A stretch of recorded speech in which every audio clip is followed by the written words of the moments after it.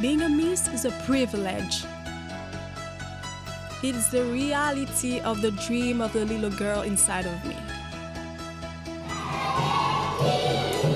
But the image of a Miss has changed today.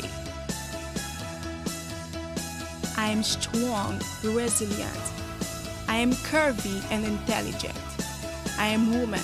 I am Stephie Morency and proudly representing the country of hope, Haiti.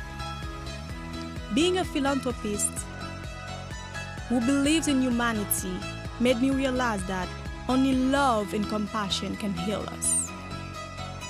I am looking forward to meeting all the other contestants, and together we are going to create great memories at the 2018 Miss World. Sanya China, here I come.